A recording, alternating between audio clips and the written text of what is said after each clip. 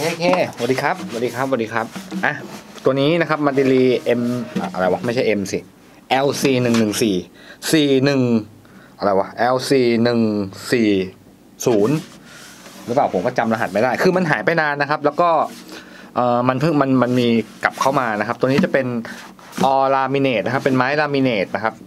ไม้อัดลามิเนตมะฮอกกานีทั้งตัวเลย ทั้งตัวเลยนะครับ นี่เป็นไม้ทั้งทั้งหน้าทั้งข้างทั้งหลังนะครับ เป็นกีตาร์ที่ผมว่าเป็นกีตาร์ที่เล่นง่ายนะครับ แล้วก็เหมาะสำหรับอ่าเขาเรียกว่าไงอะเหมาะสำหรับคนที่แบบอยากจับอยากหัดนะครับ แล้วก็ใช้งานได้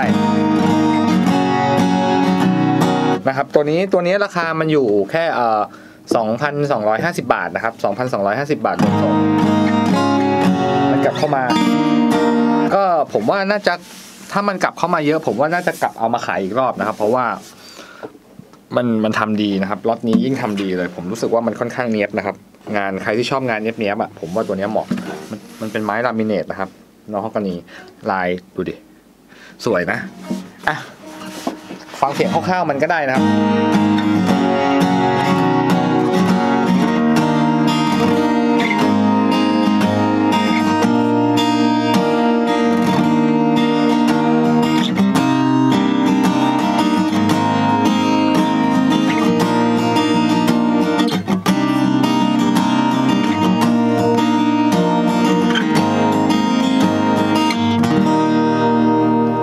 ตีคอร์ดนะครับ มันมันเล่นได้ทุกแนวเลย สมมุติว่าเราอยากจะไปหัดเล่น fingerstyle ก็ได้นะครับ อ่าเล่นอะไรดี อ่าเล่นอะไรดีวะ นี่ก็ได้อะ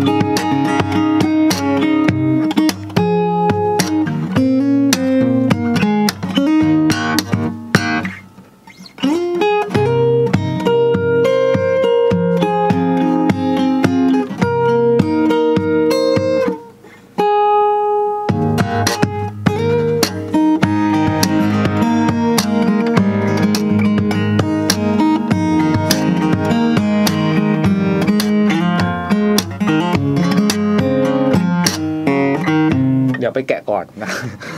โอเค นี่ครับมาเล่นทุกแนวเลย โอเค ผมว่าประมาณนี้ดีกว่า มันไม่ต้องพูดเยอะเลยนะครับ ตัวนี้ผมว่ามันเป็นกีตาร์ราคาถูกที่คือควักจ่ายได้สนิทใจนะครับ 2,250 บาท ผมว่ามันมันไม่ได้แพงหรอกครับ กับกับกีตาร์สมัยนี้ ถ้าเป็นกีตาร์สมัยก่อน 2,000 กว่าบาท ผมว่ามันมันโอ้โหนะครับกีตาร์ยุคนี้ผมว่ามันเขาเรียกว่าไงอะ กระบวนการผลิตเขาแข่งขันกันแล้วมันทั้งแข่งขันคุณภาพทั้งแข่งขันราคากันนะครับ ผมว่ามันถามว่ากีตาร์2,000กว่าบาทมันเล่นได้จริงไหมก็เนี่ยอย่างเงี้ยนะครับ ผมก็ถ่ายทอดไปให้ให้ดีที่สุดแล้วนะครับ ประมาณนี้แล้วกันฝากด้วยแล้วกันนะครับ ไปก่อนสวัสดีครับสวัสดีครับ